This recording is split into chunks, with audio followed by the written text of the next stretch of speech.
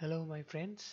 Uh, so today I'm going to show you how to uh, get rid of uh, this uh, VTX disabled error message in Android Studio. So uh, if I show you that uh, error message that will happen when you try to run your Android virtual machine. So in here if you go to AVD manager so as you can see uh, I have already set up a device in these uh, virtual devices. So if I'm going to run this uh, device there's error message pops up saying uh, enable VTX in your BIOS security so now we are going to uh, enable this VTX settings uh, in my computer.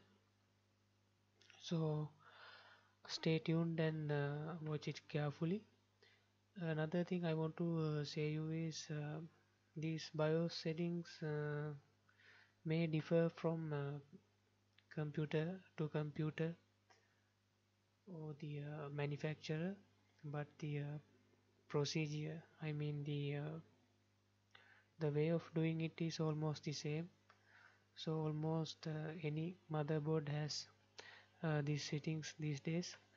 Even I have a uh, I have the motherboard uh, which was built in 2014 uh, even my motherboard my motherboard has that setting.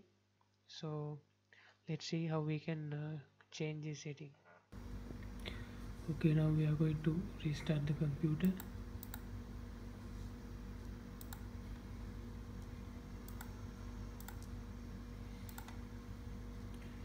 When it's uh, restart you need to press uh, delete key. I mean uh, when the computer is booting up.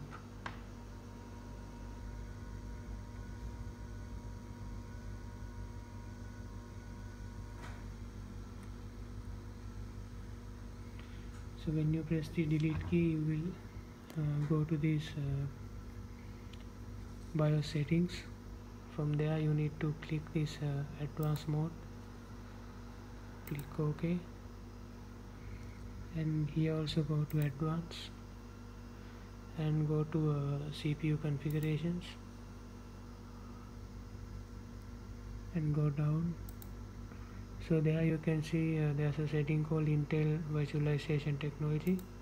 Just click it and uh, click enable. And uh, then uh, in order to save press F10 click yes. Now your computer will restart again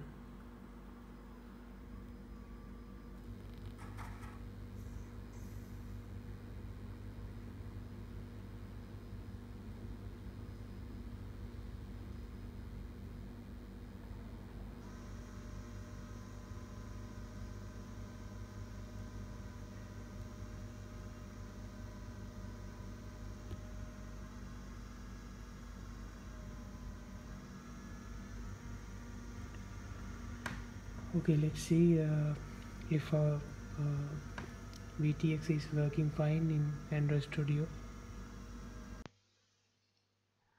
Okay now the uh, computer has uh, booted up successfully. Now let's see uh, if our uh, fix works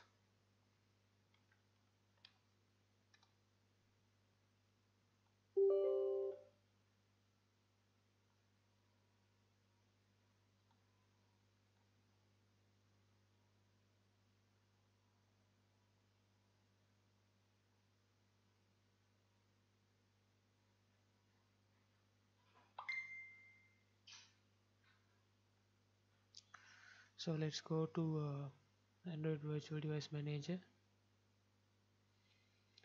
And this is the uh, device that we have set up. Now let's click uh, launch button. As you can see the virtual device is launched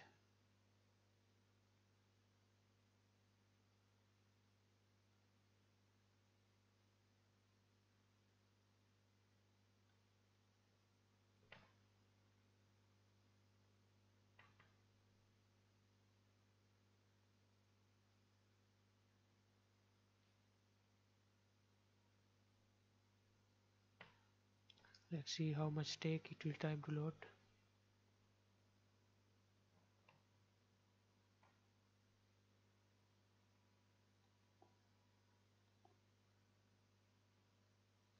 Okay there you are. Super smooth. So that's it. Now it's working so uh, stay tuned with my channel so you can subscribe to my channel and uh, like my videos. So whenever I upload a new video you will get alerted. So make sure to uh, tick that uh, bell button bottom, bottom of the video. So have a nice day